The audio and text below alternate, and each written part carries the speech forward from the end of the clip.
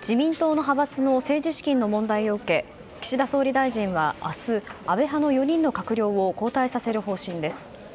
一方国会では先ほどから岸田内閣への不信任決議案が審議されています。では最新情報を中継でお伝えします。はい。え不信任案はこの後与党などの反対多数で否決される見通しで岸田総理はその後本格的に後任人事に着手する方針です。この際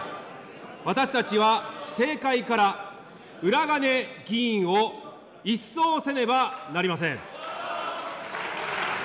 自民党岸田内閣の責任は極めて重大。一刻も早く内閣総辞職を求めます。現在開かれている衆議院本会議では立憲民主党の提出した不信任案に日本維新の会のほか国民民主党、共産党が同調し賛成に回る見通しです。ただ与党などの反対多数で否決される見通しで安倍派の裏金疑惑で荒れた国会は事実上の閉幕を迎えます。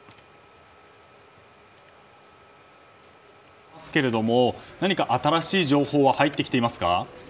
はい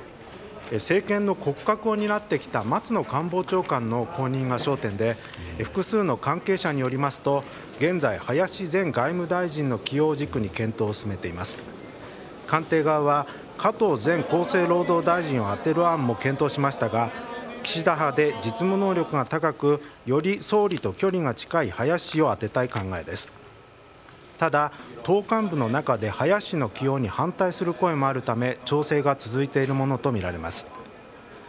農林水産大臣などその他の閣僚には過去に重要閣僚を経験した無派閥の議員などを充てることを検討しています。全体として安定感を打ち出す路線が濃厚である関係者は絶対に失敗できないとの思いがにじんでいると話しているものの候補者の1人が今受けるタイミングではないと話すなど調整は難航している模様です。はい瀬島さんに聞きました。まあ、今日国会が閉会となりまして明日事実上の内閣改造が行われることになりそうなわけですが住田さん、この一連の動きご覧になってどうでしょうか？いやいよいよ捜査がこの国会閉幕とともに本格的にかつ佳境に入るという段階ですので、まあ、今、人事としては松野官房長官変えざるを得ないと思いますから、リスクのない安定感がある方にしたとしてもワンポイントの可能性がありますので、次に受ける方も難しい状況だろうなと思いますね、まあ、人事ももちろん注目ですしそれからこれから本格捜査が始まるわけですから決して問題をうやむやにせずに全てを、はい、幅広く、はい、広い視野でやってほしいと思います。すね白日のもとにという思いです。